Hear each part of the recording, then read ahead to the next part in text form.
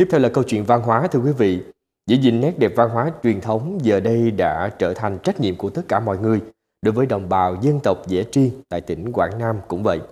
Sinh sống chủ yếu tại huyện miền núi Nam Giang, đồng bào dân tộc Dễ Triên vẫn lưu giữ được những nét văn hóa cổ truyền quý giá, vừa mang dấu ấn của cư dân Tây Nguyên, vừa đậm sắc thái Trường Sơn. Nếp sống đơn giản mộc mạc về vật chất và phong phú hài hòa về tinh thần chính là đặc trưng nổi bật của người dân nơi đây.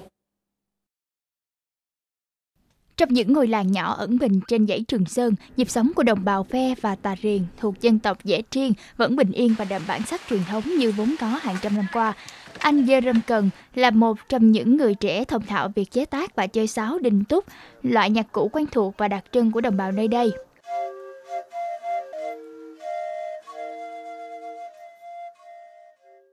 Đối với nhạc cụ ờ, đinh tút Ờ, ông cha ta đã truyền lại thì bản thân rất thích tôi còn nhỏ ờ, học tập ờ, từ người biết trước kinh nghiệm để mình mang lại cái niềm tự hào cho bản thân cũng như là truyền thống của dân tộc Tà Riềng đối với ông Sáu Tinh Tút. Nếu như các chàng trai được truyền dạy cách chế tạo và chơi sáo đinh tút, đánh chồng chiên thì các cô gái dễ triền lại dạy nhau các điệu múa truyền thống, cách dệt thổ cẩm.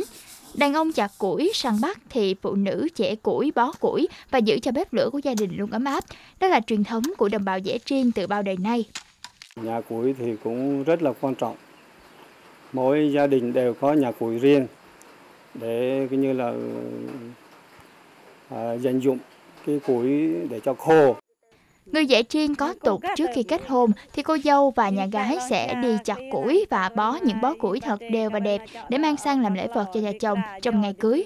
Củi hồi môn là để mong cho hai bên gia đình hòa thuận, đứa trẻ hạnh phúc và đông con nhiều cháu. Cùng nỗ lực gìn giữ nét đẹp văn hóa của đồng bào các dân tộc trên dãy Trường Sơn, trong đó có đồng bào dễ triền.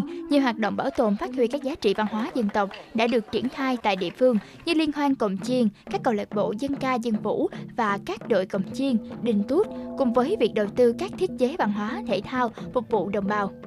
Về cái về sự văn, sự văn hóa là tổ chức trùng tu sửa chữa các cái nhà dệt này rồi hỗ trợ sắm cái, cái, cái máy may này rồi ờ, hỗ trợ cho bà con tham gia các cái lễ hội để mà quảng bá truyền thống của của bà con nơi đây Tết đến xuân về, tiếng sáo đình tuốt lại ngân vang trong các bản làng của đồng bào dễ triên. Tiếng sáo tươi vui như gửi gắm thông điệp và nguyện ước tốt lành đến tất cả mọi người.